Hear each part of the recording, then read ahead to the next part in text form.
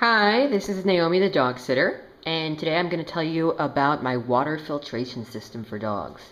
This is something that I set up uh, a couple months ago when there was an outbreak in uh, here in Israel of kennel cough. And you know, all the kennels were pushing people to get vaccinated, and of course I was too. But I also wanted to see what I could do here to prevent dogs from getting infected with kennel cough or really anything else. Um, as you know, the vaccine is only, well, there are all kinds of numbers flying around, but the one I've heard most often is about 80% effective. And it only works against one of the five or six, depending on who you ask, uh, types of kennel cough. So, you know, a way to prevent animals from getting infected in the first place or from getting exposed in the first place was something that I really wanted to think about. And the first part of my system to prevent dogs from infecting one another is this special water bowl filtration system. And I'm going to explain how each part works individually and show you how it all comes together. So first, we have this pump right here. And this pumps the water out through this pipe, which I'll show you where that goes in a second and it has it is a Hydor Seltz that's S E L T Z L20 pump, uh, which is an aquarium pump, and you can probably get that at any pet store or order it online. Um, anyway, you uh, this pump pumps at I believe 720 liters per hour, which is not much if you're talking about a giant fish tank. Uh, but it's certainly plenty for a five or six liter uh, water bowl. Um, next, uh, we have the piping. The water is being pipe pumped through here, and it pumps it up into this right here.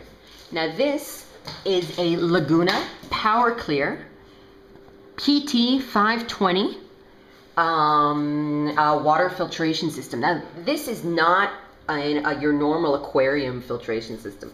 Those would probably work as well. Most filtration systems catch all kinds of things like viruses and bacteria and dirt and hairs and so forth in a uh, carbon filter, which is a really, really dense uh, filter which catches all those things and keeps them there. And then you throw away the filter and you put in a new one. I didn't want that for two reasons. First of all, I'm not trying to collect dirt here. That's not my primary concern. Dogs get dirty, and you know, that's what they just what they do. I mean, I've never seen a dog stay clean for more than five or six minutes. This system here works on ultraviolet light. If you look right here, you can see that little bit of light right there and right there. This is the, the inlet. This is where the water goes in. This is where the water goes out. Now, ultraviolet light at the right frequencies can kill viruses and bacteria after a very short amount of exposure. So inside of this filter, there are some spirals, and the water goes through those so that it's exposed to this ultraviolet light for as long as possible. Now these things are not that expensive, although the initial expenditure is a little high. It only runs at 13 watts, which is really nothing. I mean, if you look at a light bulb, a light bulb uses a heck of a lot more electricity than this. You can see that there. I don't know if it uh, comes out clearly in the video. Anyway, so this will kill viruses, bacteria, and even fungi, and uh, bacterial and viral spores, and all kinds of things like that, that the dogs, when they drink, shed into the water with their saliva. You know, you, you never take a drink of water without leaving a little bit of your spit in the cup. Dogs are the same way with their, with, with their water bowls. When you have multiple dogs sharing a single bowl, you definitely have a great source of bacterial and viral and other contamination. So the idea of this system is to kill those viruses rather than just store them in, say, a uh, carbon uh, sponge, where potentially if the sponge were to get overloaded, if I were to forget to clean it, or frankly, uh, if it were just to get bumped, quite a bit of that viruses and bacteria, quite a bit of them could get loose and put, be pushed back with the pumping water back into the, uh, into the bowl. And you could have dogs that were here two weeks ago whose bacteria were caught in that sponge 10 days ago infect dogs that are here today. And although it's certainly better than nothing, that's why I decided to go with a UV filter. So next we have this piping here. This is the return pipe. the water streams through here at quite a high rate, I'd say.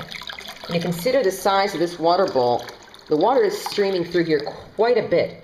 And that means that if a dog takes a sip here, it only takes a, a, few seconds, well, a minute maybe, until the water is cleaned out from his viruses, bacteria, whatever he left, he left in the bowl. So that's basically the filtration system as a whole. Now, there are a few other parts to this, as you can see. There's this, and there's this frame here. And I'm going to explain what those are for. Those are a little bit, those are not absolutely necessary for the filtration system, but it certainly makes it a heck of a lot easier, and I'll explain why. This pump, and just about any pump, although there are some specialty pumps that can turn themselves off, this pump cannot run if the water runs dry. So if if the dogs drink up enough of this water, that pump is going to burn itself out and it's going to be useless. And, you know, that costs money. These pumps are not free and they're not the cheapest things either, especially these high quality uh, uh, semi professional pumps like I'm using here.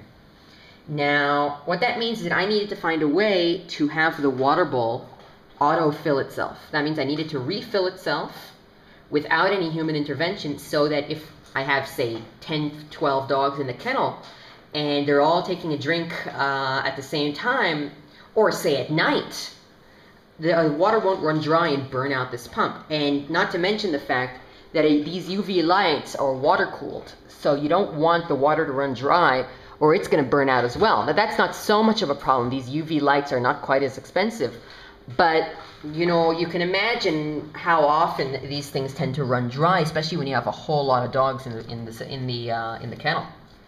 So I uh, added in this toilet bowl float, and that's this right here. Now, when the water, this right here, this cube here, this is filled with air, and it floats, of course. And this, you can see this in the uh, in the bowl of any toilet. Of course, this is a fresh one, not used, fresh from the fresh from the store. And this this pipe comes in right from the water mains, so that's fresh water coming in, uh, fresh uh, drinkable water. And oh, here we go. When the water level goes down enough, this float will go down as well.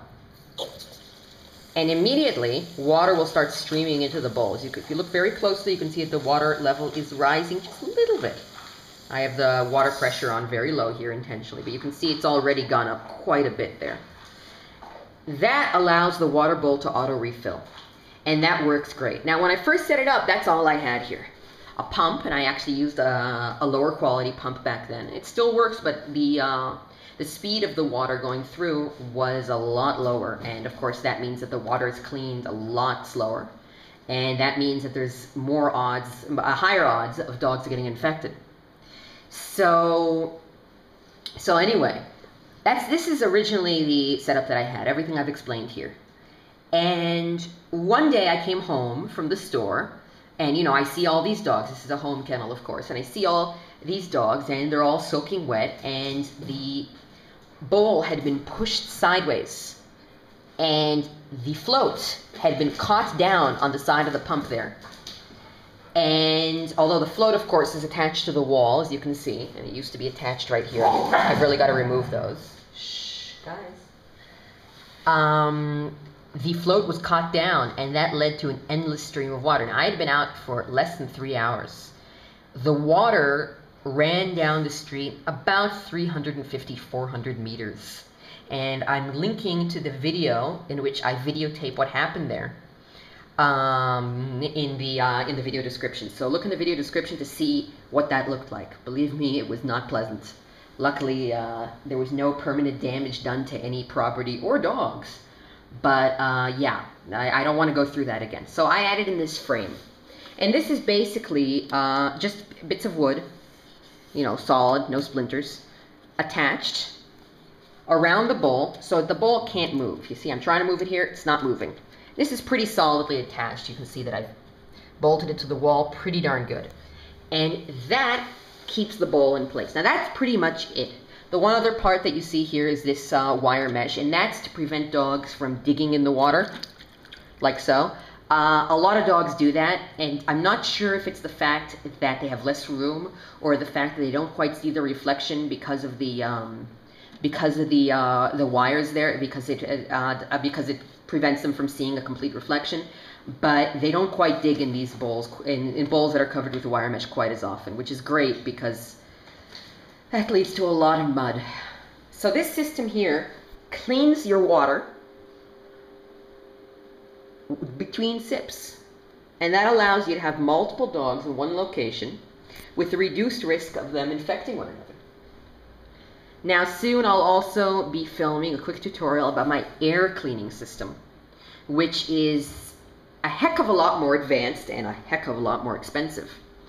But uh, but and you know it's not something that I built myself, but it, it does basically the same thing for the oxygen in the room. It filters out viruses and bacteria and actually kills them, which is just great. And together with these, together with that, I can say pretty clearly that these dogs are in the cleanest possible environment, considering the fact that the whole place is filled with dogs, which does not exactly lend itself to cleanliness. But we're able to keep dogs from infecting each other uh, with these systems quite effectively. And of course, vaccination for kennel cough and all other vaccines are very important. But I mean, mild things like respiratory infections and, you know, intestinal infections, they happen all the time in kennels. I mean, you know, just like when you pick up your kid from, uh, from school, it's not that unusual if they picked up a cough or, or an upset stomach or something like that or a sore throat. Same is true at dog kennels. The idea here is that you can, you know, you can't teach dogs to, uh, to, to only drink out of their own water bowls. They're going to share bowls. At least this way, you can prevent them from, uh, from infecting each other as much as possible. And that's it. You can post any questions, and I'll answer them to the best of my ability. I'm pretty proud of this system.